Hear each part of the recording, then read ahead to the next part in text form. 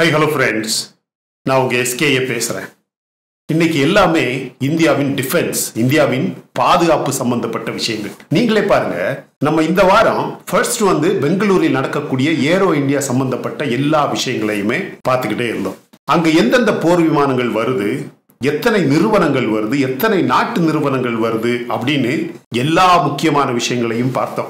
Almost எழுநூறுக்கும் அதிகமான ஆயுதங்கள் வந்து ஷோகேஸ் செய்யப்பட்டது.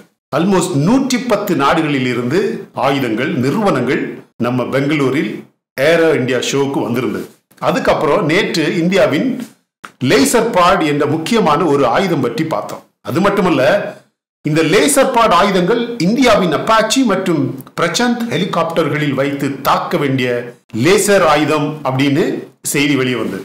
அதற்காகவே நேற்று இருநூறு புதிய பிரசாந்த் அட்டாக் ஹெலிகாப்டர்ஸ் வாங்குவதாக இந்தியாவின் ராணுவ முதன்மை தளபதி அறிக்கை ஒன்று வெளியிட்டிருந்தார். இன்னைக்கு அத்தவிட்ட விட்ட மாசான செய்திகள் பார்க்க போறோம். எப்படியாவது இந்தியாவுக்கு ஒரு சில போர் விமானங்களையும் மற்ற ஆயுதங்களையும் விற்க வேண்டும் என்ற ஒரே காரணத்திற்காக நமது ஏரோ இந்தியா நிகழ்ச்சியில் அமெரிக்கா செய்தியுள்ள விஷயங்கள் என்னன்னு நீங்களே பாருங்க my dear friends eye on Indian defence market how America is making its presence felt at Aero India twenty twenty three நேற்று கூட நான் நம்ம வீடியோவில் இதை சொல்லியிருந்தேன்.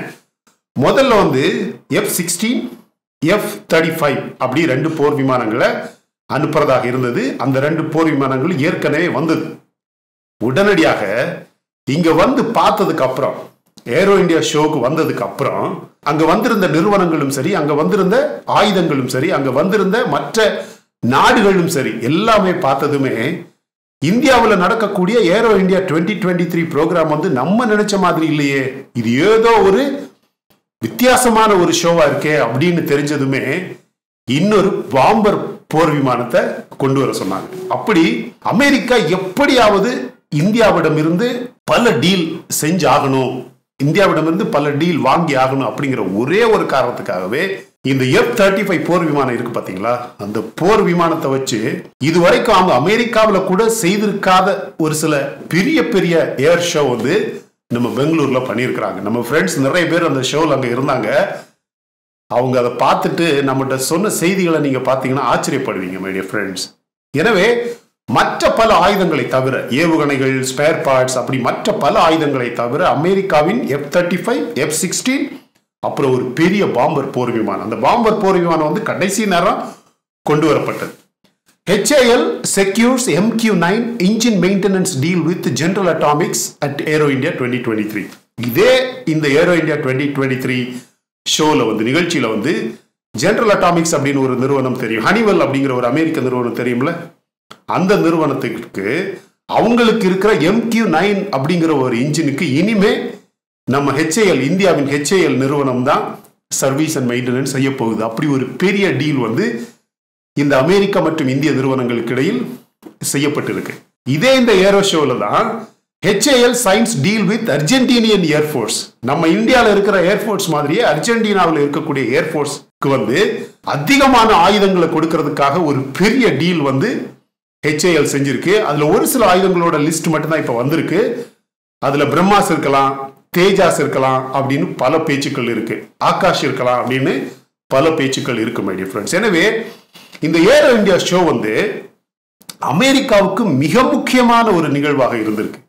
ரஷ்யாவுக்கு ஒரு பக்கம்னா அமெரிக்காவுக்கு ஒரு பக்கம். பிரான்ஸுக்கு ஒரு பக்கம்னா பிரிட்டனுக்கு ஒரு பக்கம். அர்ஜென்டினாவுக்கு ஒரு பக்கம்னா மலேசியாவுக்கு ஒரு பக்கம். அப்படி பல நாடுகளும் நூற்றி பத்து நாடுகள்னா ஒன்றும் இல்லையா ஃப்ரெண்ட்ஸ் அந்த அளவுக்கு அது ஒரு பெரிய மெகா ஈவெண்ட் ஒரு பெரிய ஷோ இந்த ஷோ வந்து இந்த முறை வந்து ஒரு ஷோ அப்படிங்கிறத விட ரியல் ட்ரேட் பேஸ்ட் வியாபார சம்பந்தப்பட்ட ஒரு பெரிய நிகழ்வாக இருந்திருக்கு. இந்தியாவுக்கு சொல்ல முடியாத அளவுக்கு டீல்ஸ் கிடைச்சிருக்கு மை டியர் ஃப்ரெண்ட்ஸ் நானே சொல்றேன் இன்னும் நிறைய இருக்கு. நம்ம ஐஎன்எஸ் விக்ராந்த் போர் கப்பல் இருக்கு பாத்தீங்களா? அந்த கப்பல் சம்பந்தப்பட்ட ஒரு பெரிய டீல் நம்ம நாட்டுக்கு கிடைச்சிருக்கு தெரியுமா? சொல்லுவோம். இந்த வீடியோலயே கண்டிப்பாக சொல்ல போறோம். பிரம்மாஸ் சம்பந்தப்பட்ட டீல்ஸ் கூட நடந்திருக்கலாம் அப்படின்னு சொல்லப்படுது. நேற்று வீடியோல சொல்லியிருந்தேன். தேஜாஸ் போர் விமானத்தை விற்கிறதுக்கு நான்கு முக்கியமான நாடுகளிடம் பேச்சுவார்த்தை நடப்பதாக சொல்லப்படுகிறது. சொன்ன ஆச்சரியப்படுவீங்க. அதுல ஒரு நாடு வந்து ரஷ்யாவாக கூட இருக்கலாம் அப்படின்னு சொல்லப்படுது. காலம் வரும்போது தான் உண்மையா இல்லையா அப்படின்னு நமக்கு தெரியும். ஒருவேளை அப்படி ஒரு போர் விமானத்தை ரஷ்யா முதல் முறையாக இந்தியா கிட்டேருந்து வாங்கிச்சுன்னா அமெரிக்காவுக்கு எப்படி இருக்கும்? நீங்களே சொல்லுங்க. சாங்ஷனா? இல்லைன்னா வேற வழியே இல்லாம முட்டியை மடிச்சுக்கிட்டு காலில் விழுறதா அப்படிங்கிற ஒரு சூழ்நிலை வரும் பாருங்க. Indigenous carriers INS Vikrant will be fully operational by year ரெண்டு இந்த வருஷம் கடைசியில் நான் ஏற்கனவே சொல்லியிருக்கேன் இந்த கப்பல் வந்து கடல்ல தான் இருக்கு. கடல்ல இருந்துகிட்டே நிறைய போர் பயிற்சிக்கான ஆயுதங்களுக்கான சோதனைகள் அதிகமாக நடக்கும் உங்களுக்கே தெரியும் ஒரு ரெண்டு மூணு வாரத்துக்கு முன்னாடி தான் நம்ம நேவல் தேஜஸ் போர் விமானம் வந்து இந்த போர்க்கப்பல்ல தரையிறங்குறத வந்து சோதனை பண்ணாங்க. அதுலயும் செய்தி வந்திருக்கு. Naval Tejas trials have been very successful அப்படின்னு நம்ம நேவியோட சீஃப் ரிப்போர்ட் வெளியிட்டு இருக்கிறாரு அதாவது அந்த சோதனையும் சரி அந்த ட்ரையலும் சரி இந்த வருஷ கடைசியில நம்ம ஐஎன்எஸ் விக்ராந்த் வந்து ஒரு போர் அப்படிங்கிற நடவடிக்கைக்காக தயாராக இருக்கும். இது சம்பந்தப்பட்ட ஒரு பெரிய டீல் வந்து என்னன்னா இந்தியாவிலேயே இந்த கோவாவில் இருக்கக்கூடிய ஒரு பெரிய போர்ட் அப்புறம் கொச்சியில் இருக்கக்கூடிய ஒரு பெரிய போர்ட் இப்படி ரெண்டு மூணு நிறுவனங்கள் சேர்ந்து தான் இந்த ஐஎன்எஸ் விக்ராந்த் வந்து நம்ம நாட்டிலேயே தயாரிக்கப்பட்டது. நான் ஏற்கனவே சொல்லியிருந்தேன் ஐஎன்எஸ் விக்ராந்தில் நம்ம தேஜாஸ் போர் விமானங்களும் பயன்படுத்தப்படும்.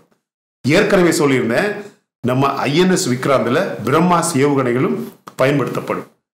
இரண்டு மூன்று வருடங்களுக்குள்ளாடி இந்தியாவில் குறைந்தது நூற்றி எழுபத்தி ஐந்து போர் கப்பல்கள் இருக்கும் அப்படின்னு சொல்லப்படுது ஃப்ரெண்ட்ஸ் சைனா வந்து பல விஷயங்கள் செஞ்சுக்கிட்டே இருக்கிறான்.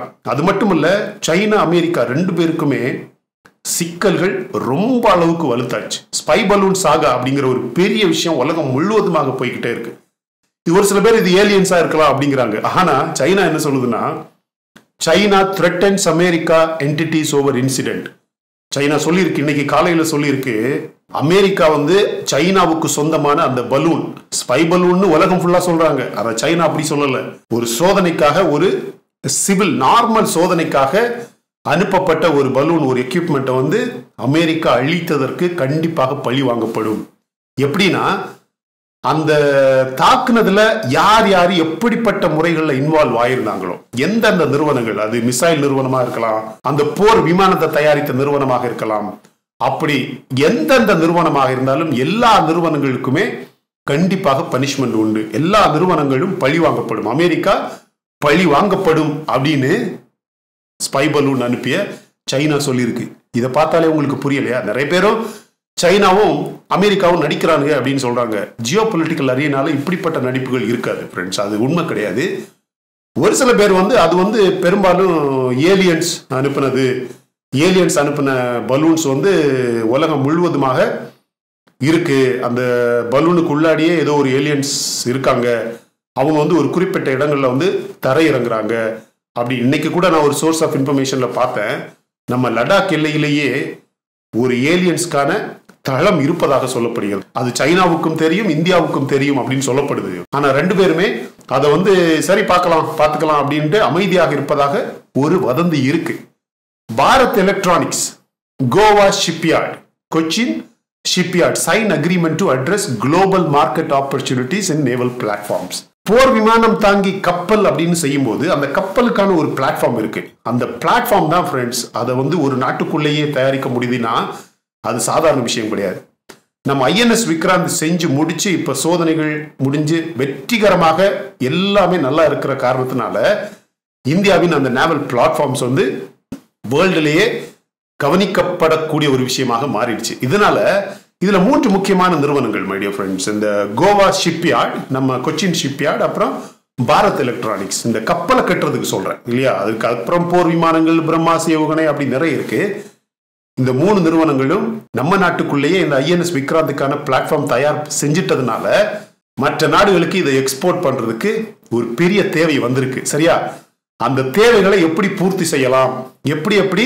இந்த பிரம்மாஸ் ஏவுகணை அப்புறம் தேஜாஸ் போர் விமானம் ஆகாஷ் ஏவுகணை இப்படி நிறைய ஏற்பாடுகள் நடக்கும் மை ஃப்ரெண்ட்ஸ் பெங்களூர்ல உள்ள ஒரு நிறுவனம் வந்து கடல்லையே ஆள் இல்லாம போகக்கூடிய நம்ம பாங்காங்சோ ஏரி இந்த ஸ்ரீலங்கா ச- பக்கத்துல இருக்கிற பெரிய பெரிய கோஸ்டல் கார்ட்ஸ் இந்த குஜராத் மும்பை இது மாதிரி அதிகமான இடங்கள்ல இந்த தீவிரவாதிகள் ஊடுருவல் இருக்கக்கூடிய இடத்துல லடாக் போன்ற பெரிய பெரிய ஏரிகளில் அங்கே வந்து ஆள் இல்லாமலே பேட்ரோலிங் அதாவது பாதுகாப்பதற்காக அதாவது அந்த சுத்தி சுத்தி வந்து யார் எங்க இருக்காங்க ஏதாவது இருக்காங்க அப்படின்னு பேட்ரோல் பண்ணுவாங்கல்ல அதுக்காகவே போட் செஞ்சிருக்காங்க. பெங்களூர்ல உள்ள ஒரு நிறுவனம். ஒரு அசத்தலான செய்தி மை ஃப்ரெண்ட்ஸ் இது மாதிரி விஷயங்கள் எல்லா நாடுகள்லையும் அப்படியே சாதாரணமா நடந்துடாது நம்ம நாட்டில் இவ்வளோ பெரிய பாப்புலேஷன் இவ்வளோ பெரிய தொழில் அமைப்புகள் இவ்வளோ பெரிய நிறுவனங்கள் இதெல்லாம் இருக்கிறதுனால இப்படிப்பட்ட விஷயங்களை நம்ம கண்டுக்கிறதே இல்லை.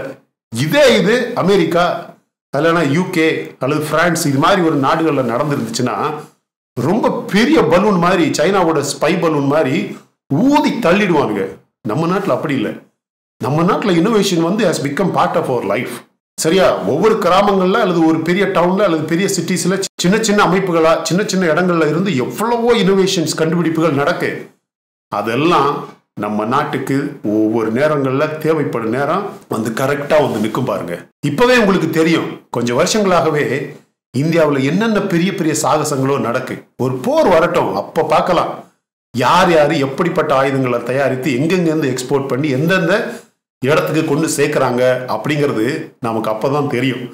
நம்ம வீட் நம்ம ஊர்கள் எல்லாம் கல்யாணம் வந்தால் தான் அது எப்படி களைகட்டுதுன்னு கண்டுபிடிக்க முடியும் இல்லையா? அது வரைக்கும் தெரியுமா? தெரியாது. அது மாதிரி தான் இந்தியாவோட டிஃபென்ஸ் செக்டர் uh, வந்து சரியா? அதனால எல்லாமே முக்கியமான விஷயங்கள் எல்லாமே அசத்தலான செய்திகள். இந்த வீடியோ உங்களுக்கு பிடிச்சிருந்தா லைக் பண்ணுங்க. நம்ம ஏரோ இந்தியா பத்தி உங்களுக்கு ஏதாவது கருத்துக்கள் இருக்குன்னா நீங்க யாராவது போயிருந்தீங்கன்னா கமெண்ட் செக்ஷன்ல பதிவு பண்ணுங்க. மற்றவங்க பார்த்து என்ஜாய் பண்ணட்டும். இந்த வீடியோ பிடிச்சிருந்தா லைக் பண்ணுங்க. இன்னும் நம்ம சேனலை சப்ஸ்கிரைப் பண்ணலன்னா மற்ற வீடியோஸ் பாருங்க. உங்களுக்கு கண்டிப்பா பிடிக்கும். பிடிச்சிருந்தா சப்ஸ்கிரைப் பண்ணுங்க my dear friends Thank you so much, my dear friends, for watching all my videos and supporting my channel. Until I come back with my next awesome video, it's bye bye from Suresh. Stay safe, stay positive, stay active, and stay fit. And always dream big in your life. நம்மளால எப்பவுமே எதையுமே சாதிக்க முடியும் அப்படின்னு நம்ம first நம்பணும் my dear friends and as I always say please take care of your parents at home உங்கள் அப்பா அம்மாவை வீட்டிலேயே வச்சு நல்லா பார்த்துக்குங்க ஃப்ரெண்ட்ஸ் தேங்க்யூ